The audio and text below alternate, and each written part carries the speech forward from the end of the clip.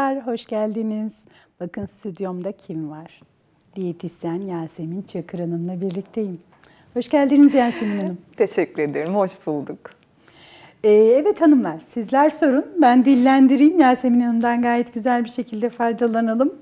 Şimdi e, daha fit bir görünüm, daha doğrusu Yasemin Hanım kendisi gibi hoş nasıl olabiliriz? Diyetisyen olarak sizden birkaç tüyo rica ediyoruz. Çok çok teşekkür ediyorum öncelikle.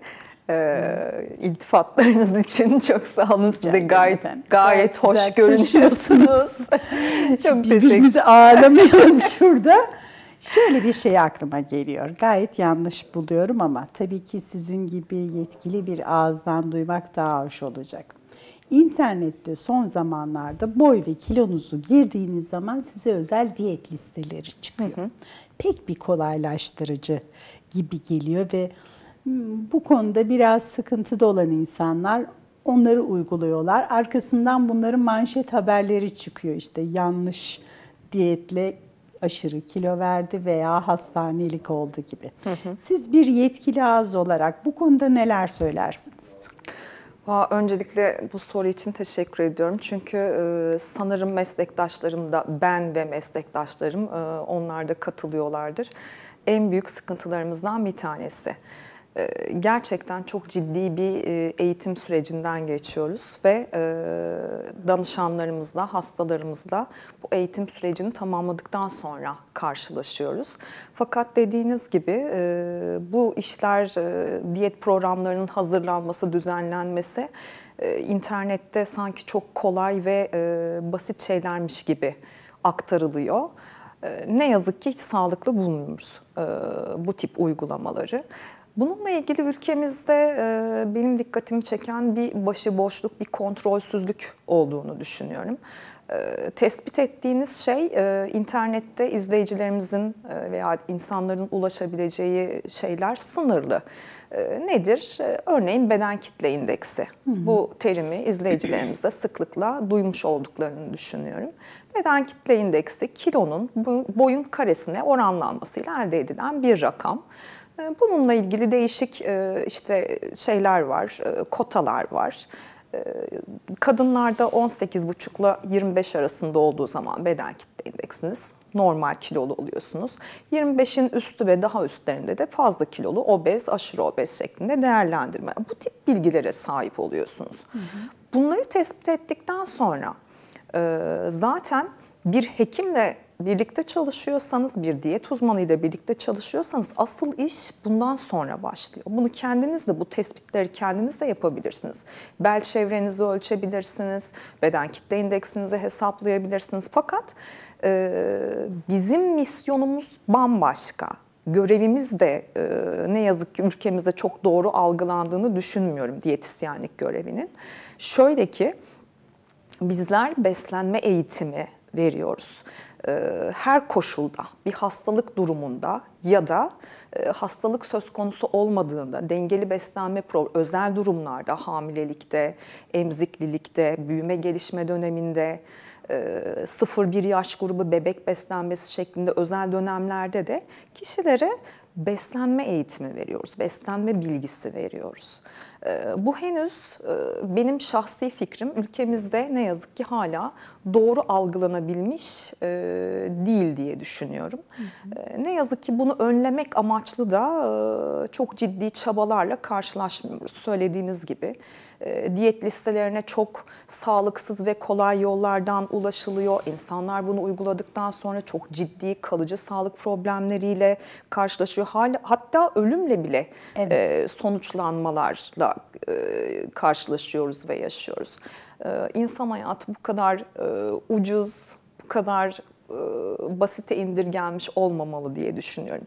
Ben çünkü kendi işim ve mesleğim e, doğrultusunda biz çok insan odaklı çalışıyoruz. Evet. Beslenme çok hayati bir ihtiyaç. Çok önemli yaşamsal ihtiyaçlardan bir tanesi doğduğumuz andan hatta onu söylerim hep daha doğmadan önce biz beslenmeye başlıyoruz. Aynen. Ta ki son nefesimizi verene kadar.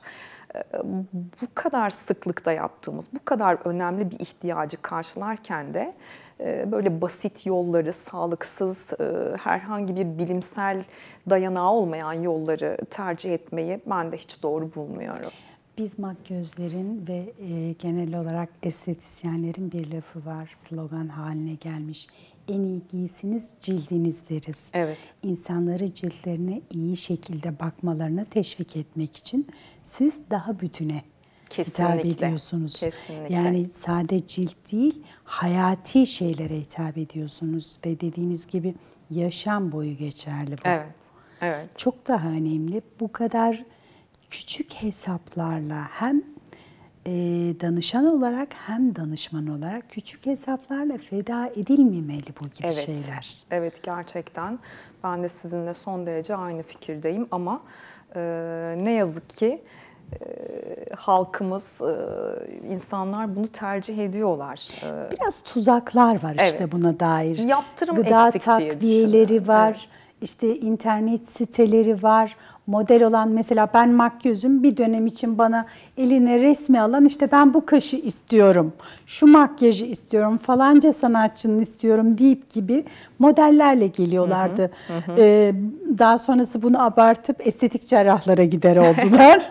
Ee, size de böyle geliyorlar mı? Kesinlikle, kesinlikle çok doğru bir gözlem yapmışsınız. Sizinki biraz daha kabul edilebilir. Evet. Bizden de bu tarz e, istekler ve talepler bizim için de söz konusu olabiliyor. E, tabii bizim asıl e, işimiz, görevimiz, aldığımız eğitim biz insan sağlığıyla e, ilgileniyoruz. Aldığımız eğitimde tamamıyla bu doğrultuda. Besinlerin e, sağlığımız üzerindeki olumlu ya da olumsuz etkilerini e, paylaşıyoruz, aktarıyoruz. Bunun eğitimini veriyoruz danışanlarımıza ve hastalarımıza. Peki sizce bir bayan, daha çok bayan diyorum ama konumuz içeriğinde bir bayanları ele aldığımız için diyorum. Tabii ki beyler için de geçerli. Ayrım yapmadan aslında insanlar diyebiliriz bunu düzeltiyorum. Kişi e, kilosunun ne kadar üstüne çıkarsa bir uzmana başvurmalı. Evet, e, biz vücut ağırlığına göre insanları kategorize ederken biraz önce de program girişinde bahsettiğim gibi Dünya Sağlık Örgütü de aynı yöntemi kullanıyor. Beden kitle indeksi dediğimiz bir birim var. Buna başvuruyoruz. Kilo bölü boyun karesi şeklinde ekrandaki izleyicilerimiz de kendi beden kitle indekslerini kolaylıkla hesaplayabilirler. Örneğin 160 santim boyunda işte diyelim ki 60 kilogram ağırlığındaki bir kişi 60 bölü 1.6'nın karesi 2.56 işte çıkan sonuç bu kişinin beden kitle indeksidir. Ee, kabaca bir rakam verelim. 18,5 ile 25 arası bayanlarda beden kitle indeksine göre normal kilolu bir birey olarak tanımlıyoruz. Erkeklerde ise 19,5 ile 27 e, aralıklar biraz daha farklı. Beden kitle indeksiniz 25'in bayanlarda, erkeklerde de 27'nin üzerine çıktığında artık vücut ağırlığınız e, ideal ağırlığın üstünde kabul edilebilir. Bundan sonra zaten e, ister 5 kilo fazlamız olsun, ister sınırın 15 kilo üzerine çıkın, sağlık sorunlarıyla karşılaşmaya adaysınız. Onun için e, hep şunu hatırlatırım hem danışanlarıma hem de e, katıldığım diğer televizyon programlarında da sıklıkla vurguluyorum. Kilo vermeyi ertelemesin sevgili izleyiciler. Evet. E, neden? Çünkü vücudumuz da alışıyor. Fazla yağ dokusunu vücudumuz ne kadar uzun süre misafir ederse bizden ayrılmakta da bu yağ dokusu o kadar ısrarcı oluyor. Her şeyi erteleyin ama kilo vermeyi ertelemeyin. E, sonrası daha zor çünkü Evet. biriktirince. Evet. evet. Bu da hep ertelenmeye çok müsait bir konudur. İşte pazartesileri diyete başlanır, bayramdan sonra başlanır, yılbaşından sonra başlanır. Ee, asıl olan burada işte e, en önemli konu kişinin hazır olması. Ve e, bu konuda ciddi bir e, eğitim almış olması. Bizler aslında işte burada devreye giriyoruz. Öyle anlar yaşıyoruz ki e, bizim kendi kliniğimize başvuran danışanlarımız arasında e, çok ciddi bütün samimiyetimle henüz hazır olmadığını söyleyip e, bu konuyu ertelemelerini istediğim danışanlarla karşılaşıyorum. Ha, siz hazır değilsiniz diyorsunuz. Elbette. Bravo. Elbette.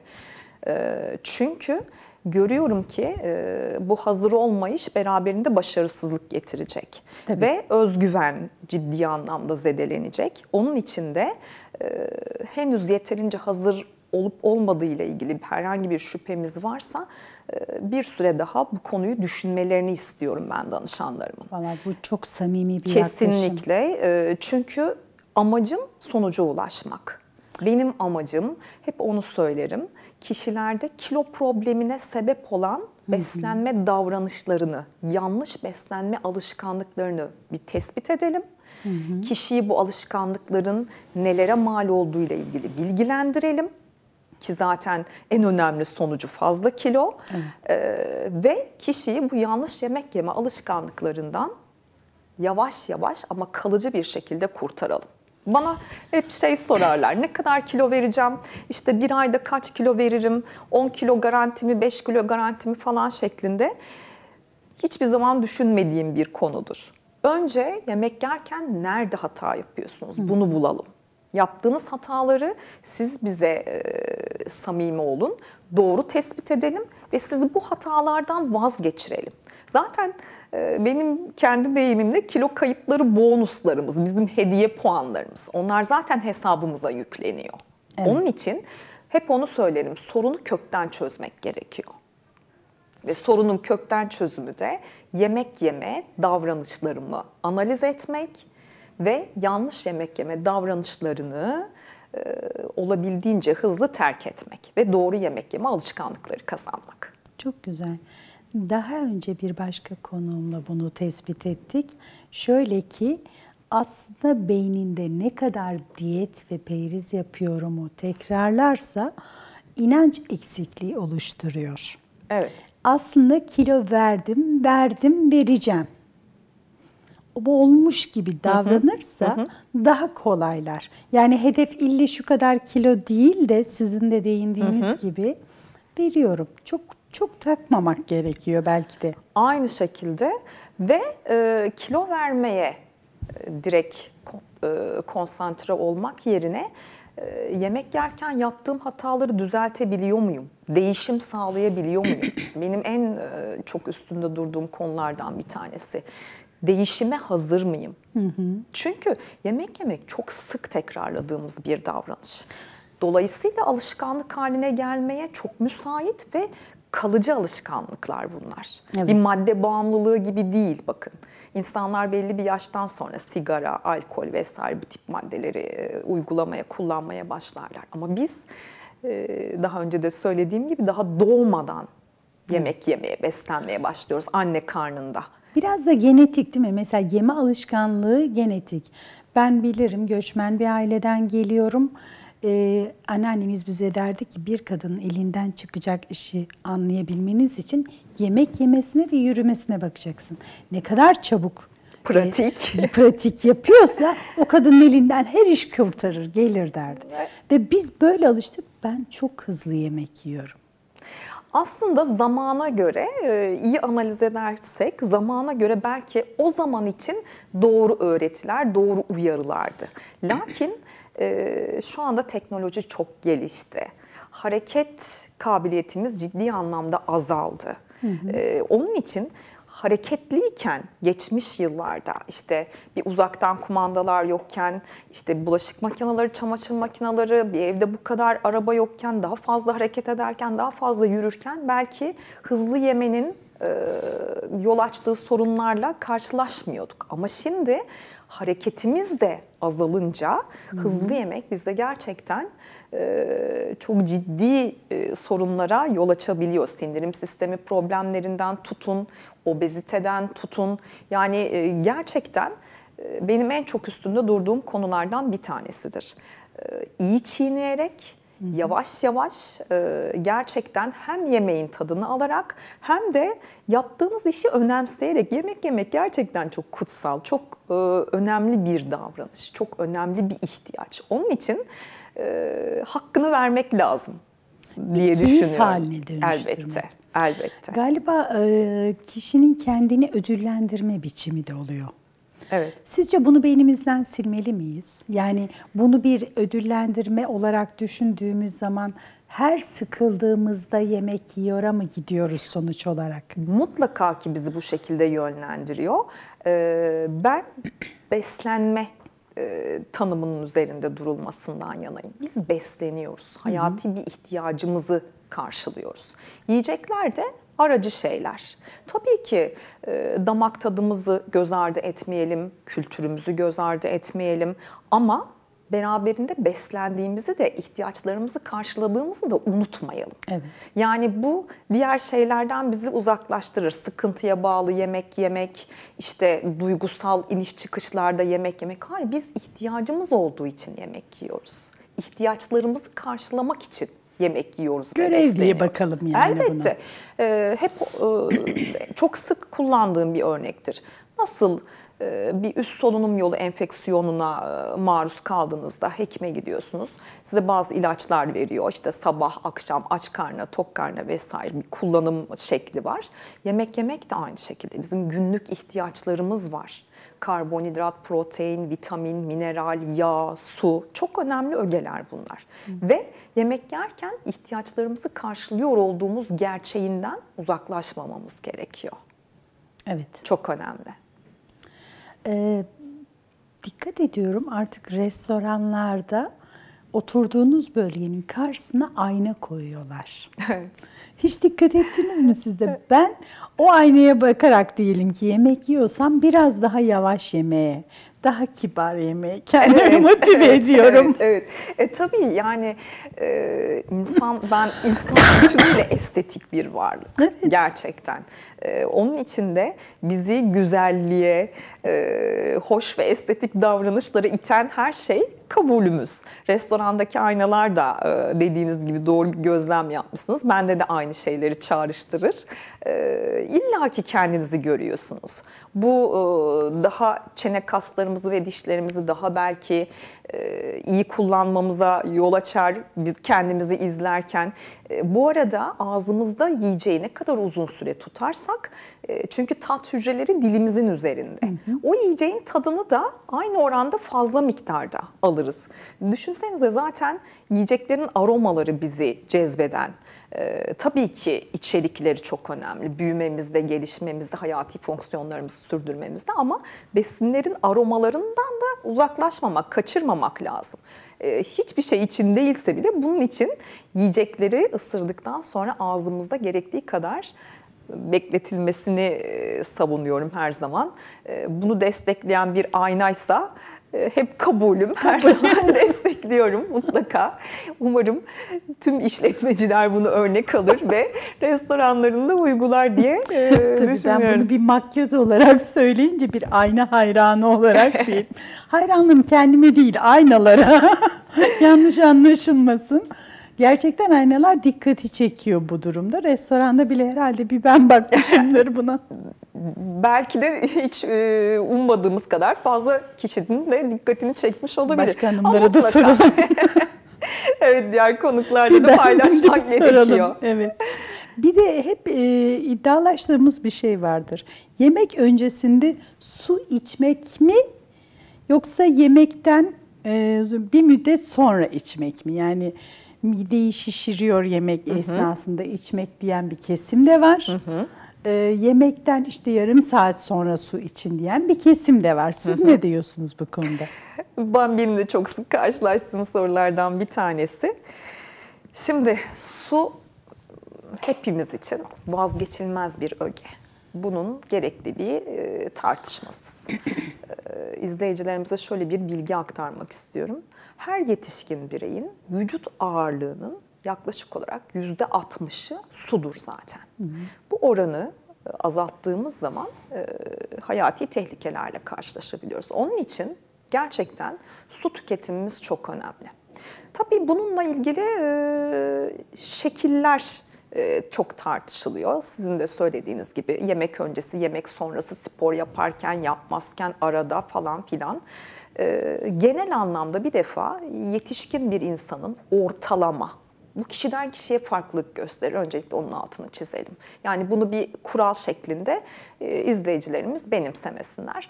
Ortalama olarak günde yetişkin bir insanın e, aşağı yukarı 2 litre kadar saf suya ihtiyacı var. Bu suyu da e, 24 saatin 8 saatini uykuda geçirdiğimizi düşünelim. Sağlıklı olanı bu. Vücudumuzun, hücrelerimizin, organlarımızın dinlenebilmesi için günde 8 saat kadar ortalama uykuya ihtiyacımız var. Geriye kaldı 16 saat uyanık olduğumuz süre. Bu süreye doğru bir şekilde yaymaktan yanayız. Yani homojen bir su tüketimi böyle bir davranış sergilememiz gerekiyor. Yemekten önce içilen suyu isterseniz şöyle bir aydınlatalım. Midemiz bir kese, etten yapılmış elastik bir kese. Ve midemizin içine yiyecekler ya da içecekler dolduğu zaman mide kasılıp gevşediğinde bize mekanik olarak bir tokluk hissi gelir. Yemekten önce su içtiğimiz zaman su illaki midemizde bir yer kaplayacak ve kasılma gevşemelerden sonra biz mekanik olarak bir tokluk hissi yaşayacağız. Bu anlamda avantaj. Ee, yemekten sonra içilen su da e, zaten yiyecekle midem bir kısım doldu. Arkasından fazla miktarda su tüketirsem midemin büyümesine sebep olabilirim. Büyük mideler kilo kontrolünde her zaman dezavantaj. Evet. Hep küçük midelerden yanayız. Ee, onun için de midemi büyüten, genişleten hareketlerden kaçınılması gerektiğini düşünüyorum. Onun için bir defada fazla miktarda çay, su vesaire veya soğuk içecekler aynı anda tüketmememiz gerekiyor birincisi. İkincisi de yemekten önce içilen suyun e, geçici de olsa erken tokluk hissi yaşamak anlamında olumlu bir etkisi olduğunu düşünüyoruz. Çok güzel. Onun dışında da günlük su ihtiyacımızı e, dediğim gibi homojen bir şekilde uyanık kaldığımız süre içerisinde karşılamamız gerekiyor. zamanla yayarak karşılayacağız. Evet Yasemin Hanım bugün böyle bir e, sohbet yaptık. Bir dahaki bölüm için seyircilerimiz bizden ne dinleyecekler? Sizden bunu öğrenelim. Selma Hanım e, en çok şu anda üstünde durduğumuz, benim de eğitimlerimde çok önem verdiğim konu yemek yeme davranışlarını analiz etmeye çalışalım. Buradan izleyicilerimize e, bu konuda bilgi aktarmaya çalışalım. Yanlış yemek yeme davranışlarını tespit etmelerinde onlara yardımcı olalım. Ve her yanlış yemek yeme davranışının ne tür bir sağlık problemi oluşturduğunu e, anlatmaya çalışalım. E, ve izleyicilerimiz arasında e, geçtiğimiz günlerde kutladık diyabet haftasını.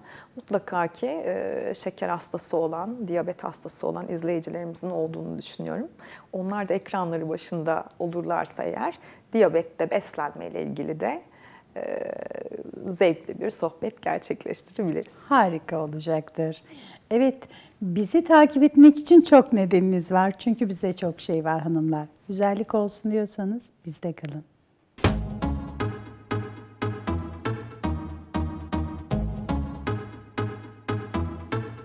On Ahu Hanım sanıyorum bu saç rengine yeni sahip oldunuz. Memnun musunuz? Memnun değilim. Olduğu gibi olmadı. Evet, çünkü ten rengi beyaz, göz açık, saç çok canlı, flash bir renk sizi daha soluk göstermiş. Ee, makyaja şartlandırır, çok da işimize gelir bir makyöz olarak ama makyajın da acemisi olmamak lazım bu durumda. Makyaj bilginiz konusunda ne diyorsunuz? Kaç puan verirsiniz kendinize? 10 üzerinden. 3. O kadar mı düşük? Amanın sizin bana ihtiyacınız var. Selma ile güzellik olsuna ihtiyacınız var değil mi Bülent Bey? Evet aynen Selma Hanımcığım. Tabii Şimdi biz bir takımız. Aynen. Biz bir her zaman O yüzden de beraberiz. bize ihtiyacınız Evet. var diyelim. Şimdi ben bu saçlarda karamel tonlarda oynayacağım. Sizin yüzünüzü biraz daha canlı göstereceğim. Yani saç tonunu biraz koyuttuğum zaman sizin yüzünüzü direktmen daha renklendireceğim. Daha böyle canlı duracak. Onu tavsiye ediyorum. Onu yapacağım. Ona uygulaması yapacağım. Bunu zaten daha sonra göreceğiz. Kesimle ilgili bir şey. Göreceksiniz. Küçük bir kesim oynaması yapacağım. Küçük bir kesim oynaması yaptığım zaman o değişikliği zaten hissedeceksiniz, göreceksiniz. Yani gayet güzel gidecek yani. Bundan mutlu olacağınızdan eminim.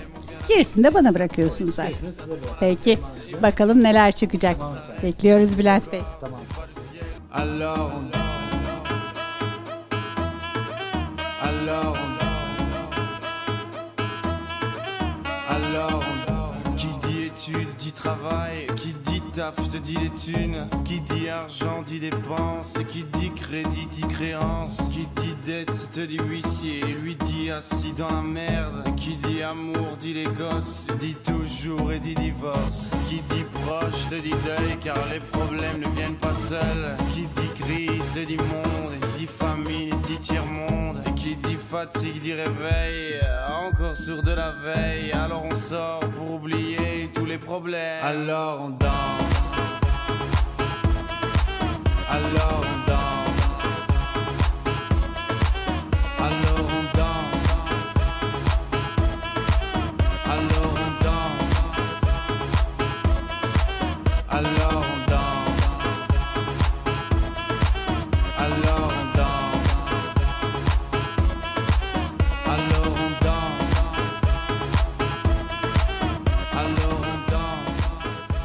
Cildimize fondötenimizi sürüyoruz. Ahu Hanım için de. Kapatın gözü. Her tarafı çabukça bir makyaj yapıyoruz. Doğal olarak bu saç rengimize uygun renkleri seçip kullanacağız.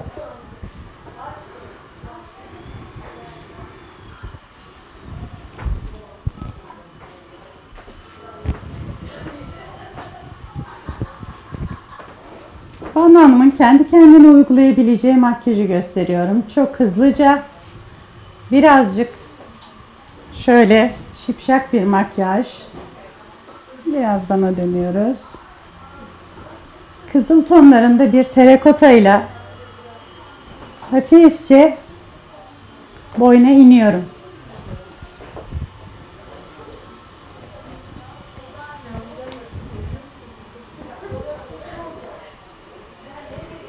Her tarafı matlaştırıyoruz.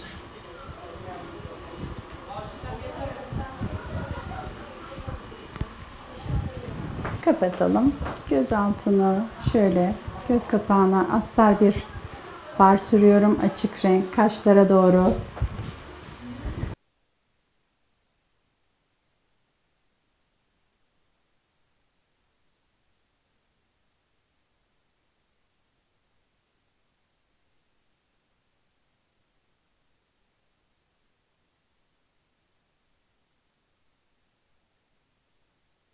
Saç renginin yakınında bir far kullanmayı seçtim. Daha doğal bir görünüm için. Birbirine yakın renkler olduğu zaman bir bütünlük sağlayacak.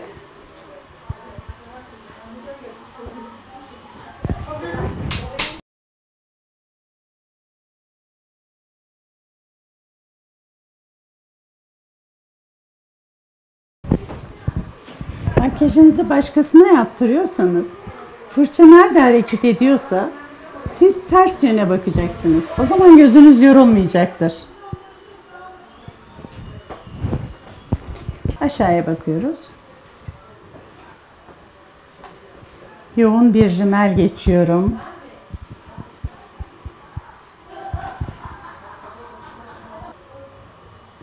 Yukarı kullandığım farı göz içine de geçiyorum alta.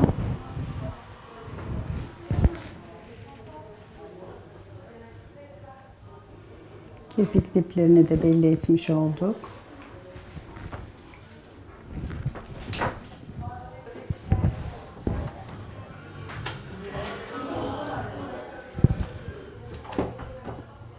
Göz, göz kaleminizin akmaması için daha sonrasında dışına far geçiyorum. Dağılmayacak o zaman. Ve de biraz buğulu bir gözlere sahip olacağız.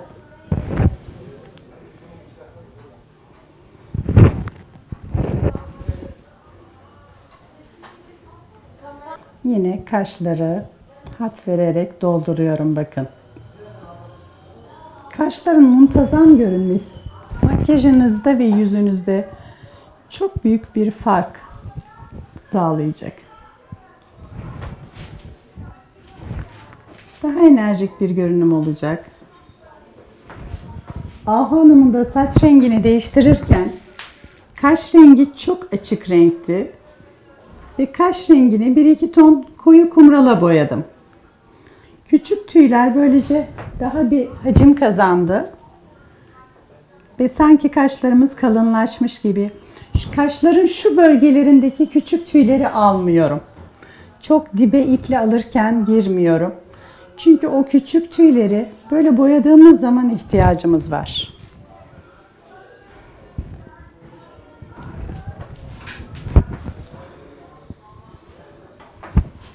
Evet. Gayet güzel. Umarım Ahu Hanım da beğenecektir. Evet. Uslu uslu. Açalım. Aç aç aç. aç. Güler gibi.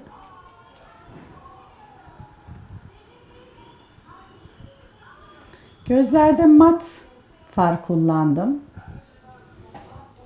Açık camlı bir kalem kullandım göz içine. Ruju sedefli kullanabilirim bu durumda. Kapalı kalsın.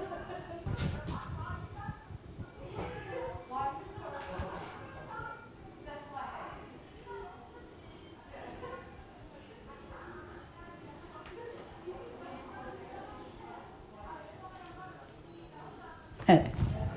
Kaldıralım bakalım. Evet, kahküllerimizle birlikte budur. Çok güzel oldu. Çok güzel oldu. Bu gözler çok hoş gözüküyor. Evet. Çok teşekkür ederim. Renk değişti. Kesim değişti. Ve şimdi size teslim ediyoruz Ahu Hanım'ı. Bir güzel giydirelim desek neler bulabiliriz butiğimizde? Ahu Hanım bir kere e, çok minyon, çok çıtı pıtı, çok zarif bir hanım. Ona güzel bir şeyler bulabileceğimizden eminim. Ama ilk önce sormak istiyorum. E, özel bir gün için mi hazırlanıyorsunuz yoksa günlük bir şeyler mi? Nasıl ne gün için istiyorsunuz? Şimdi Çağrı Hanım renkli ve böyle uçuş uçuş. Yumuşacık şeyler istiyorum. Renkli, Hı hı. uçuş yumuşacık. Evet. Tamam. Böyle şeyler- cıvıl cıvıl olsun. Cıvıl cıvıl tamam. Gözlerinize de yakışır. Gözler yeşil. Renkli bir şeyler çok hoş duracaktır eminim. O zaman şöyle bir bakalım mı mağazaya Bakalım. beraber? Ee, e, neler beğenirsiniz? Şöyle bir gözünüze kestiriniz. Ben de sizin tarzınızı aşağı yukarı alayım ona göre. Evet. Çağrı Hanım Ahu Hanım'la dolaşırken bizler biraz sohbet edelim sizinle. Kuaförde oldukça uzun sürdü işimiz. Saç rengimiz değişti. Ee, cilt rengine göre bir makyaj yapıldı. Gözleri ortaya çıkaracak bir makyajla Ahu Hanım kendini açıkçası çok daha iyi hissetti. Daha yaşam enerjisinin arttığını vurguluyor kendisi. Şimdi biz kostümle ilgili bazı şeylerde eksiğimiz var. Daha sonra ayakkabısını giyecek ama bu yeni imajına uygun renkleri tespit ediyoruz. Bakalım ne rengi giydiğinde kendisinin e, yüzü daha karanlık gölgeli olacak. Hangi rengi giydiğinde biraz daha ışıl ışıl olacak. Çağrı Hanım desteğiyle biz bunları görüyoruz aslında. Bakalım neler olacak. Bir şey seçtik sizinle de paylaşalım. Tamam. Ben şöyle bir Oldukça şey renkli. maviyi yakıştırdım kendisine ama e, biz siz sohbet ederken biraz yorum yaptık onların üzerine. E, kendisi de bunu beğendi. Bunu daha çok daha çok giyebileceğini, kendini daha iyi hissedebileceğini söyledi. Her zamanki savunduğum şey kendisini iyi hissetmesi çok önemli. Bu da yakışır ama onunla iyi hissedeceği için ben onu deney deneyelim dedik. Üzerine de e, aksesuar bulduk. Yüzük ve şey küpe bulduk. Kolye çünkü çok e, istemedi hem de bunun üzerine çok yakışacağını düşünmedik çünkü flörü var evet. E, yüzükle küpe bulduk. E, bir denerse beraber bir bakalım nasıl göreceğiz. Buyurun kabine Ahu Hanım. Bir de eğer e, arzu eder Ahu Hanım hazır mıyız? Hazırım. Biz de hazırız. Sizi bekliyoruz. Perde açılsın. çok güzel. Evet renkler çok yakışmış. Üzerindeki hareket, o şalın hareketi, çiçekler, o Ahu Hanım'ın o çıtı pıtı haline daha da bir tamamlamış sanki. olmuş. Bence süper olmuş. Tek uymayan e, ayakkabısı onu da değiştirecek zaten. Evet. Şu an şu andaki ayakkabı olduğu için ama bence hoş gözüküyor. Çok güzel. Çok dinamik gözüküyor değil mi? Evet. Renkler muhteşem. Kolay da kullanılabilecek bir kıyafet. Evet. Evet şimdi ne yapıyoruz? Biz bu butikten çıkıyoruz ve Selma Mısırlı ile güzellik olsun aynamıza gidiyoruz.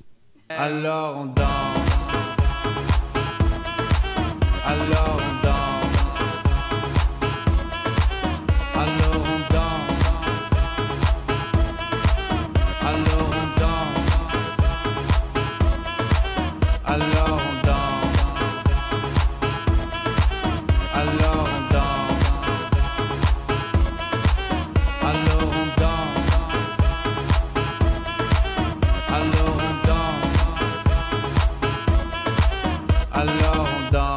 tu dis que c'est fini, car pire que ça, ce serait la mort. Quand tu crois enfin que tu t'en.